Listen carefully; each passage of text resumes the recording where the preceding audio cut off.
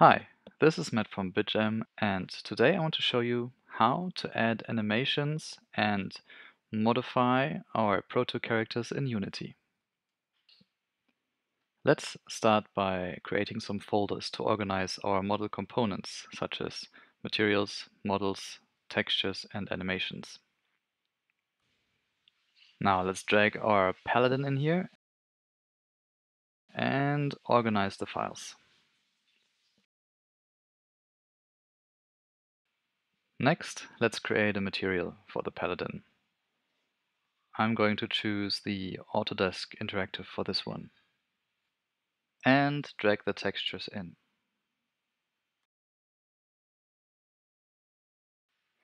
Next, let's turn off import materials on our models so we can use our new material.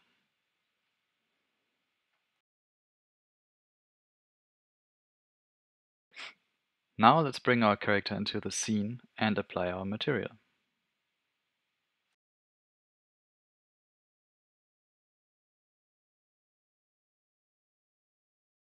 Then we'll create an animator controller and drag it into the animator controller slot on the character.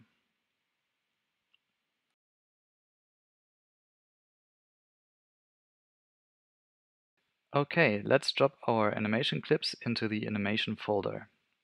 We really only need the animation data, so let's control duplicate the animation data and clean up a little.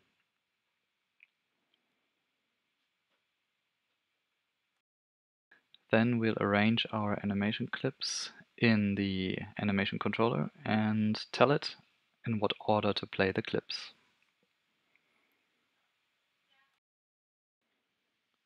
All right, let's test. Looks like it's working.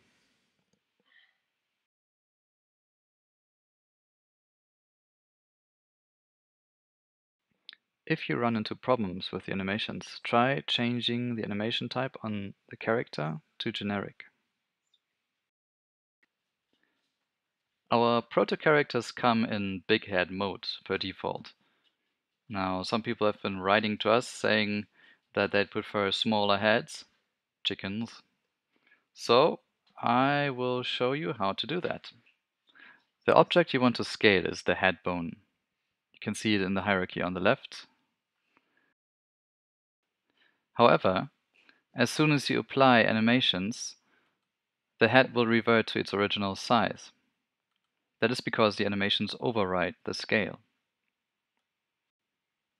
To stop this from happening, you need to open up the animation clip and find the scale animation data for the head bone and simply delete it.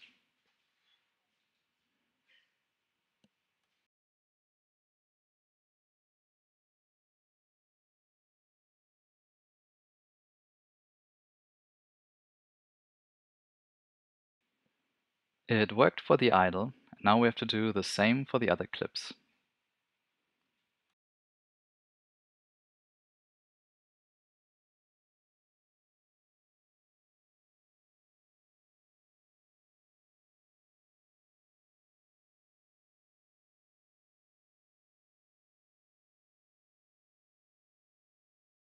Now let's put that hammer in his hand.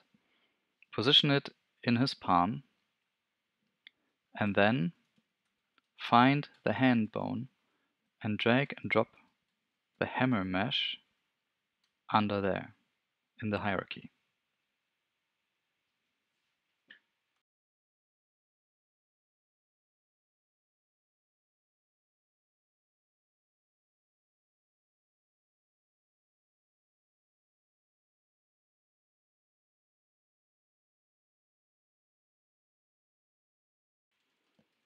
Now let's tweak the rotation of the hammer a little bit.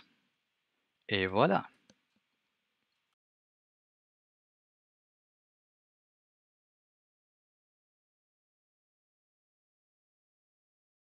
Since all our male proto-characters share the same skeleton setup, it's possible to share animations between characters.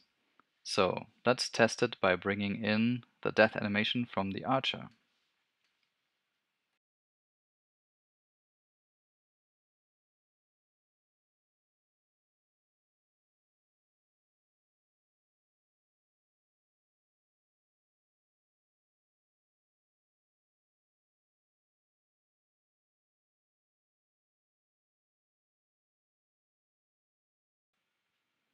Alright, that worked.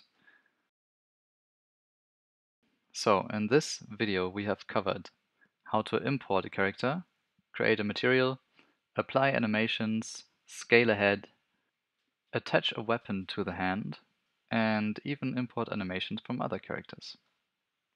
I hope this was helpful. Thank you for watching and see you next time.